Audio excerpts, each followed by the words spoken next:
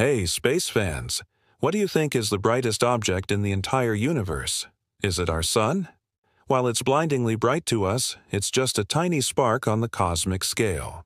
So, what holds the title? For sustained, non-stop brightness, the champions are quasars.